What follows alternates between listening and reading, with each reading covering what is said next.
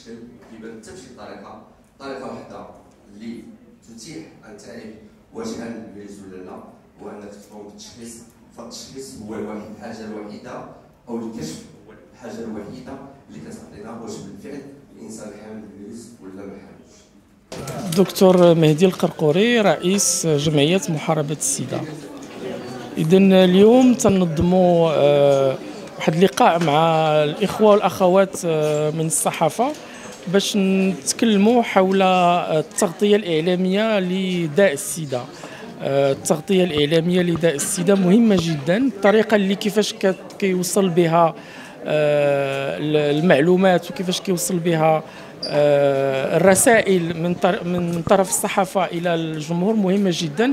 فإذا كانت مثلا هذه الرسائل وهذه المعلومات مثلا آه، خاطئة أو مخيفة أو آه، فهذا يقدر أنه يأثر بطريقة سلبية على مجهودات محاربة السيدة. مثلا أن الناس ما تنفر من اللجوء إلى الفحص التحليلات تنفر من اللجوء إلى العلاج في حين أن آه، في الآن تنعرفوا مثلا أن الشخص المتعايش مع فيروس نقص المناعة البشري إلى تم تشخيصه إذا تم آه، آه، توجيهه العلاج وخدا العلاج ديالو بطريقة منتظمة ما كيبقاش كينقل الفيروس. فاذا ممكن ان أننا نحبسوا من انتشار هذا الوباء. فالطريقة توصيل الرسالة الصحيحة بطريقة صحيحة للجمهور مهم جدا. وحنا تنعتمدوا بزاف على الإخوة والأخوات من الصحافة باش يعاونونا في هذا مجهود محاربة السيدة وكذلك في نهاية هذا اللقاء إن شاء الله سوف نعلن عن غادي ننظموا واحد الجائزة لأحسن عمل صحفي كيدور حول السيدة وحقوق الإنسان. دعم الكبير خشيصون رئيس النقابه الوطنيه للصحافة المغربية. اليوم في هذا اللقاء نحاول أن نتوج نوع من العمل التشاركي مع الجمعية فيما يتعلق بموضوع حساس وإن كان قديم نعتبر بأن الإعلام له دور أساسي في آه، تنبيه المجتمع من خلال آه، ممارسة مهنية تقدم خدمة للمجتمع.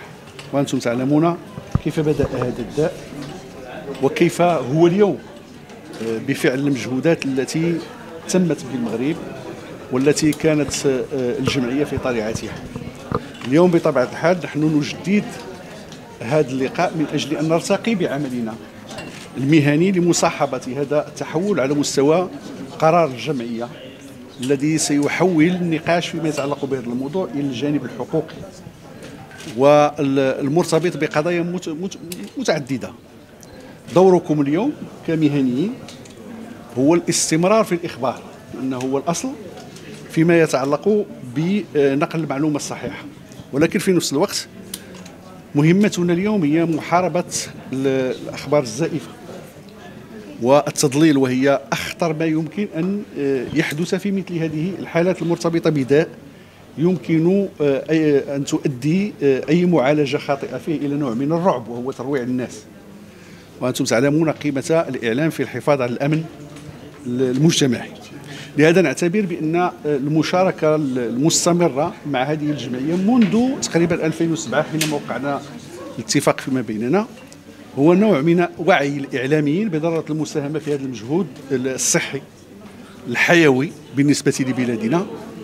ونعتبر بأن ما وصلت إليه الجمعية وما وصل إليه يعني الجهد الصحي في المغرب في محاصرة هذا المرض وتحويله إلى شيء إلى آه، داء عادي يمكن أن نتعايش معه كباقي يعني الأمراض الأخرى ليس بالسهل ولهذا المطلوب منا كاعلاميين هو أن نواصل هذه هذه المهمة النبيلة وأنتم تكتشفون من خلالها ما هي قيمة الإعلام ويجب الحفاظ على ذلك. لابد أن نقول بأنه آه، الموضوع كموضوع ديال ديال الوقاية نتحدث على الوقاية اولا من مرض السيده أظن بأنه هذه من بين آه، ربما المهمات الكبرى والأساسية للإعلام. لأن كما كتعرفوا في مجال الوقاية هو مجال ديال التوعية هو مجال ديال المعرفة ديال آه، آه، المعطيات. ولذلك المعطيات اللي سمعنا الآن مهمة جدا الأرقام اللي سمعناها مهمة جدا. وكتبين على أنه كاين هناك ربما فئات ومناطق معينة اللي اللي كينتشر بينها هذا المرض هذا. كيبقى دائما التساؤل مطروح هو الموضوع ديال الكشف إلى أي مدى كاين هناك كشف اللي هو شامل واللي كيمكن له يعطينا آه، معطيات ربما آه، أكثر دقة من المعطيات التي نتوفر عليها. ولكن ما يهمنا نحن كإعلاميين بالضبط هو هذا. هو أننا نشتغلوا طبقا لقواعد المهنية والأخلاقيات ونمشيو عند الخبراء ونبحثوا في المجلات العلمية الحقيقية المتخصصة. وفي نفس الوقت تكون عندنا مسؤولية اجتماعية بمعنى أنه مسؤوليه اجتماعيه ومهنيه اللي الهدف منها ماشي أننا نبحث عن الموضوع للاثاره بقدر ما أنه نبحث اولا حتى نقدم الأخبار وثانيا حتى يكون هناك واحد النوع من التوعية داخل المجتمع بهذا المرض وبأمراض أخرى.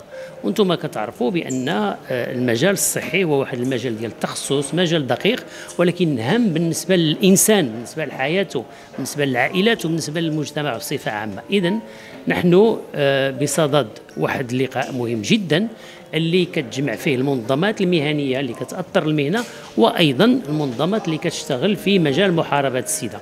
الهدف هو أنه يكون هناك تضافر الجهود باش نشتغلوا جميع ولكن بالأساس أنكم تشتغلوا أنتم كصحفيات وصحفيين أيضا في آه، متابعة هذه الموضوعات في تغطية الأخبار في متابعه الوضع الصحي. ولذلك آه، تحدثت أنا على موضوع التخصص لابد أيضا أن نسعى إلى التخصص لأنه كاين هناك مجالات اللي ما كيمكنش بسهولة أننا نجي ونكتبوا فيها. لابد أن ندرسها أن نشتغل عليها أن تكون لدينا معطيات. وباش آه، نختم هذا التصريح هذا أقول أيضا على أنه لدينا إحنا كصحفيات وصحفيين مسؤولية تجاه المجتمع فيما يروج في شبكة التواصل الاجتماعي. خصنا إحنا نكونوا واحد النوع ديال حراس اليقظه للمجتمع حول واحد المجموعة الأشياء التي تروج واللي كنعرفوا أنها إما ماشي صحيحة إما انها لا تستند على مصادر حقيقية إما أن الهدف منها هو الاثاره وهو البوز من أجل المال. وهذا هو الخطير. الخطير هو أنه كيولي ربما آه عمل بعض المؤثرات والمؤثرين وفيهم المشعوذات والمشعوذين اللي الهدف منه هو أنه يكون أكثر آه عدد من الزوار من أجل ربح المال.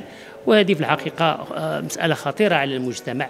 دورنا نحن كصحفية وصحفيين هو أنه تكون عندنا اليقظة والحذر وأننا نصححوا هذه المعطيات وهذا أيضا دور الهيئات المهنية.